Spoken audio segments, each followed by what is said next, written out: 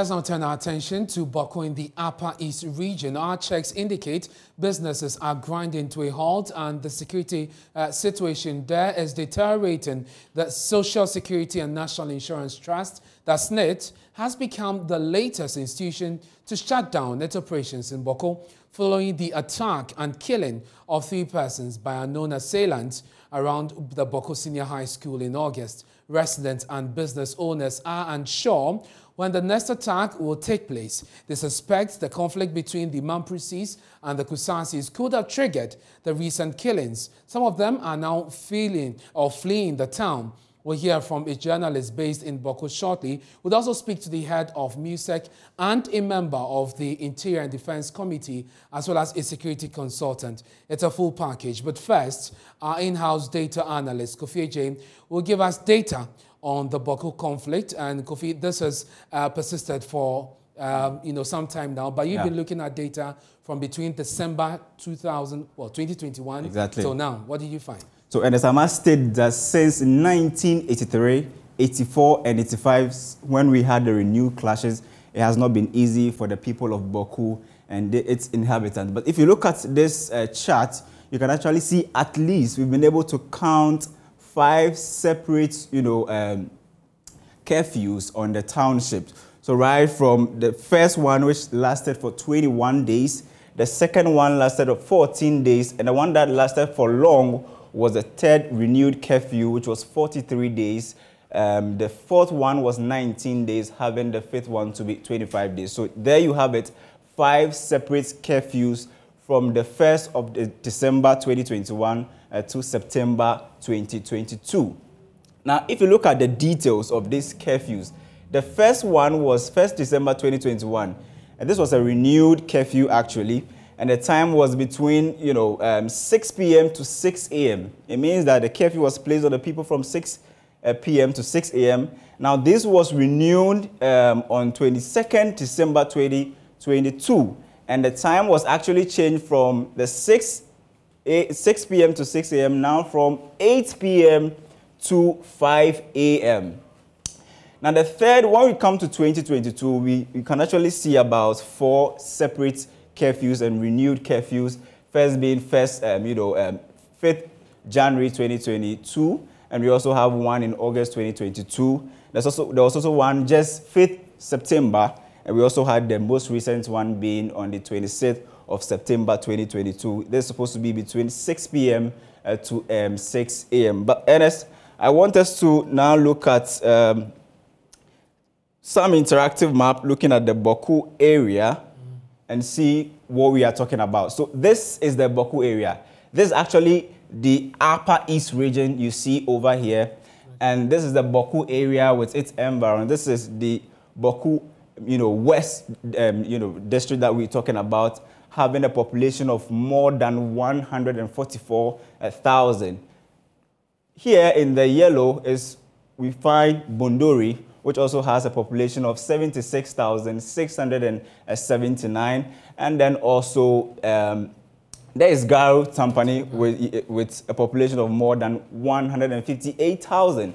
There's also um, Bawku Municipal itself having a population of more than 119,000. The last one uh, being, you know, Pusiga with a population of over 80,000. Now, if you combine this whole area and their population, is more than half a million. So if there should be a clash or anything of that sort, you can actually see the security implication in this area that we're talking about. Quite, you know, massive in terms of the population they have there, more than half a million NS.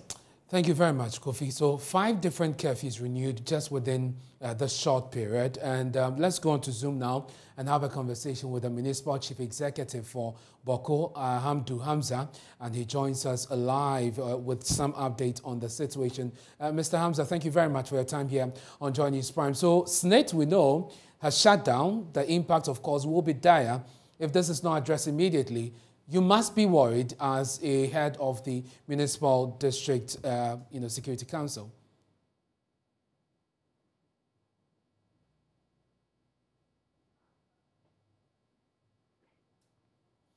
You'd have to unmute if you can, if you can hear me, sir.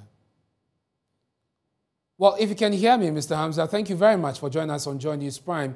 Uh, the impact of SSNIT having to shut down will be dire if, if this is not addressed immediately. Uh, as, as MUSEC, you must be worried about the trend that this is taking.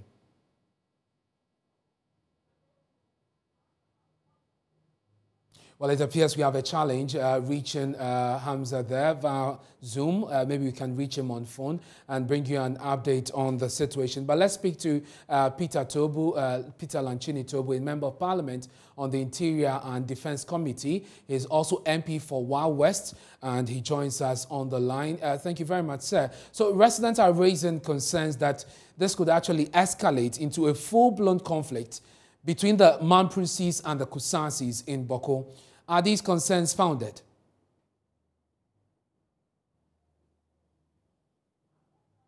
Mr. Tobu, can you hear me?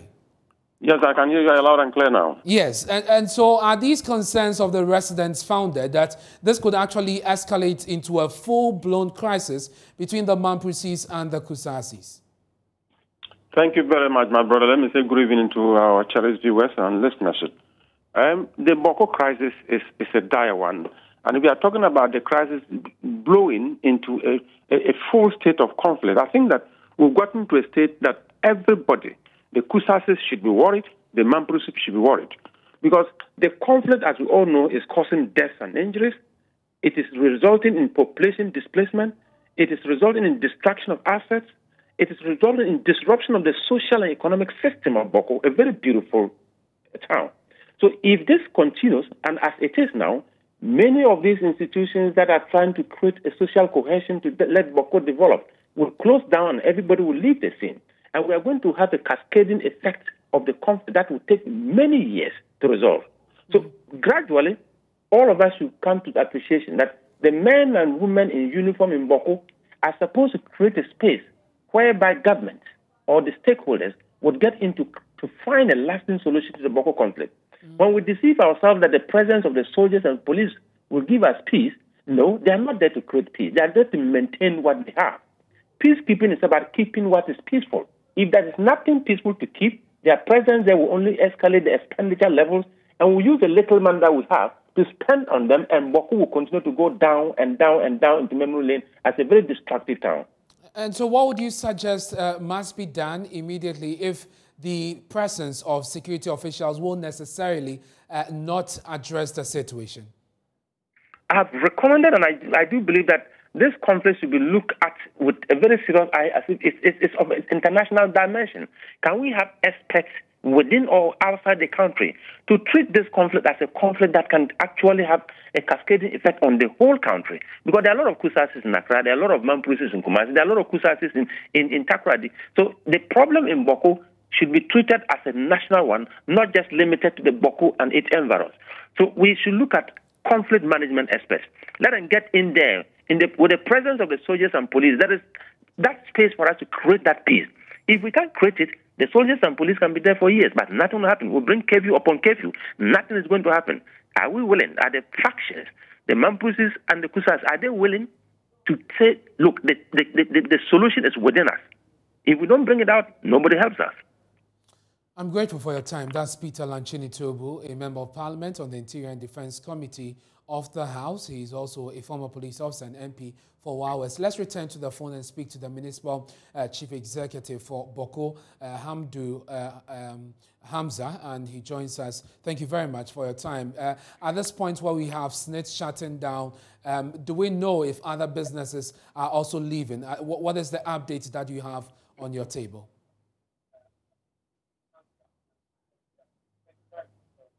Mr. Hamza, can you hear me? Yes, I can hear you now. Yes, and so SSNIT is, is shutting down because of the security situation. Uh, per the briefing that you have, do you know if other organizations have also uh, pulled out of the area? Uh, yes, indeed. I'm terribly worried about the trend of events in Bawku. Once again, good evening to you all and good evening to my cherished listeners. Yes, the um, SSNIT indeed has not closed completely from Bawku. What is happening now is that they have moved out of Bawku temporarily.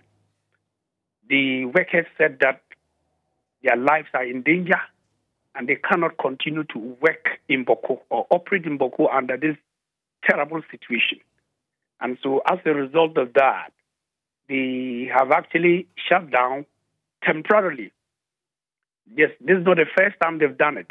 At the point um, from last year up to the beginning of this year, they could close for a week or two, move away.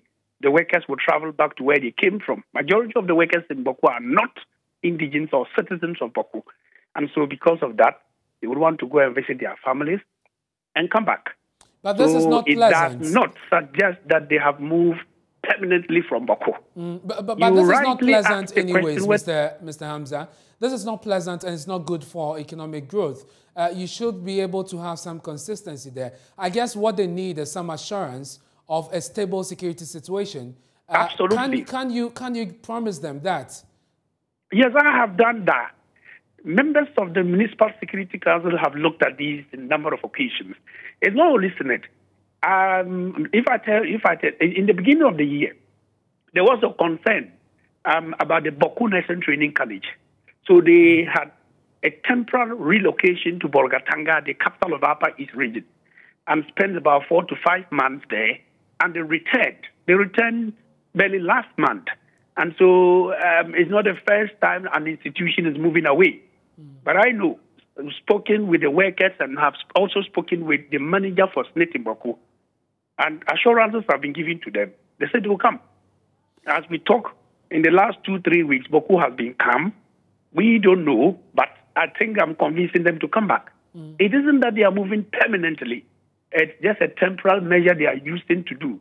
Other institutions, such as the National Identification Authority, have similarly um, uh, had concerns to tell me that indeed they want to move out and then come back. And look at the situation where you are working in the office and you would hear a gunshot. Uh, definitely you should be worried. My staff and their family, when there's a gunshot right now, they move away. Majority of them are not indigents of Bawku. They come from neighboring countries like And so, Zebilla, what is being like done Bolga. to address the situation, Mr. Hamza? The Interior and Defense Ministers, uh, we know, as well as the IGP, have been in your municipality. What, what is the resolution to, to tackle this issue? Uh, Mr. Peter Lanche has just told you something. I don't think that there is a permanent situation that can come from outside. It has to necessarily come from the people of Bawku, i.e., the Kusasis and the Mamprusis. They must begin to give peace a chance. It is their responsibility to say that, look, today we are putting the gun down. The arrival or the coming of the interior minister, the defense minister, the IGP, the chief of defense staff. Just imagine that is the entire security arrangement we have in this country. They came to Bawku. And so when they came, we have every cause to visit the Bawku Naba, Zugrana, Azoka, Astigri, the, the second. They spoke with them and also told them what they intend to do. They should give peace a chance. They promised that they would do same. Then we went to Bawku Secondary School where we met the youth of the Kusasis. We moved from there and we came back to Natinga where we met the man Rana and his elders also. Then we moved to the Bawku Nursing Training College and also met the Mamprusi youth. Mm. Similar messages were said over there. The cardinal point is that the Kusasis and the Mamprusis must give peace a chance. It is only the responsibility of these two factions. They can meet, Georgia, and say from today, we wouldn't want a gunshot. And, And and when that if, you, done- if, you, if you just don't mind, just let us know who is leading the mediation. Is that what are you saying? Who, who is leading the mediation? Is it the Peace Council? There's or no the mediation. There's no mediation. As we talk, we have a temporal measure coming from the Peace Council. On two occasions, I took them to, I made the Peace Council to pick them, the Mamprusis, the Moshis, the Kusasis, the Bistes, the Houses, the Dagombes, all of them to Bolga. They had a two day workshop there. Some uh, and whatever were done there. They adhered to it. We came back the following day and there were gunshots. I am just returning last week from Tamale with them again, the same Bawku Interethnic Peace Committee. And certain things were said, and they are beginning to smoke the peace pipe. I am very confident that this Bawku Interethnic Peace Committee will be the catalyst around which we will get the peace in Bawku. If they are committed and they are ready to work with each other, I think there will be peace in Bawku. Right. Let's see it how this goes. And, and we wish you well and your committee as well, as well as the municipal, uh, you know, council on security as you try to resolve this issue. And the National Media Commission issued a statement on Sunday urging the media in Bawku to desist from fanning tensions there. Richard uh, Kumado is a security consultant and also joins us via Zoom uh, with some analysis on this. Uh, Mr. Kumado, I'm sure that you're well aware that this has uh, persisted for a long time. Uh, the MC has just been telling us about the new approach to get the two, you know, feuding factions to smoke the peace pipe. Do you think this will work? Definitely. I want to agree with many of the things my brother Peter uh, has said, the MP for WA, that the security officers created opportunity for the powers that be, being in the traditional authorities or the state itself to move in there and resolve the issue. But I think we, we, we have window dressed the issue of Bawku for a very long time. And that is where we are now. I'm just hearing for the first time the inter-ethnic community that has been formed. I think there's an issue of trust here. They don't trust themselves. So once there's trust deficiency, you may go to Bolga, you may go to Accra and come, and the next day there will be a gunshot. I think we need to be bold enough, we need to be courageous, and we need to take the bull by the horn. That is the only way we can resolve this Bawku issue. Thank you very much. That's Richard Kumado, a security consultant, uh, joining us there on the issue of uh, conflict uh, in Bawku. You're watching Joy News Prime with me, Ernest Now.